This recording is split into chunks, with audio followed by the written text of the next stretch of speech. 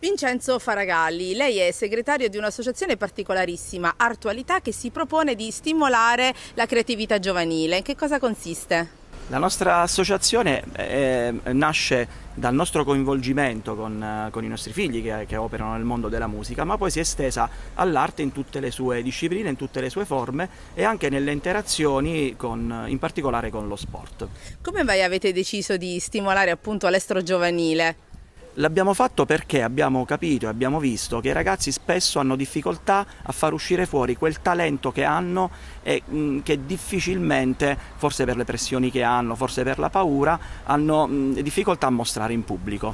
Ecco, proprio a proposito di mostrare in pubblico, Mauro Mistichelli, lei è vicepresidente dell'associazione e avete dato vita proprio ad un talent per, eh, come dire, dare una vetrina a questi ragazzi. Sì, eh, siamo andati eh, qualche settimana fa con l'istituto di Mociano Bellante, con eh, le scuole medie stiamo, andremo al Delfico e poi andremo anche alla Zippilli. Tante le discipline che eh, sono in mostra, addirittura dal disegno manga al pattinaggio a performance con le bike. Ecco, um, diciamo una modalità molto eclettica per stimolare i ragazzi su diverse discipline. Eh, è un appuntamento che si rinnova ogni anno?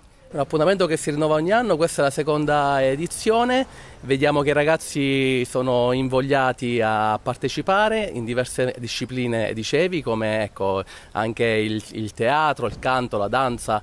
E il bello, il bello, di questo è che i ragazzi si mettono in gioco loro, ma mettono in gioco anche i genitori, perché eh, provano, provano, insieme a loro e, e questo, mm, in questo noi abbiamo già, già, vinto, perché dal momento in cui loro si allontanano un po' dalla tecnologia che spesso li travolge e, ed altro, stanno un momento ecco, particolare insieme ai genitori e, e, si impegnano, e si impegnano in questo.